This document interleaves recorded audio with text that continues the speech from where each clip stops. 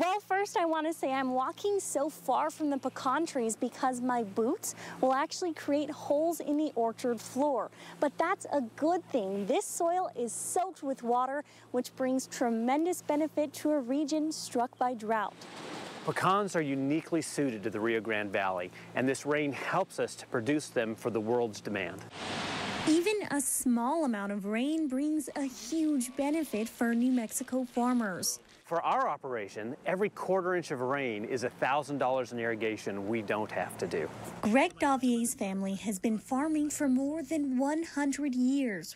Dixie Ranch now has 10,000 pecan trees and produces half a million pecans annually. Growing the world's food supply requires a lot of water, so we love the rain. But it's been a challenge with the immense drought. The drought has been severe this year with only four inches from our irrigation district. Last year's monsoon would be better called a non-soon. We really didn't have any rainfall. But Davier is optimistic about this season.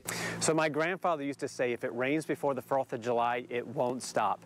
But if it doesn't, it won't start. So we had a major rainfall before the 4th of July, but only time will tell if a week's worth of rain will make even a dent in the extreme drought we're seeing across the southwest.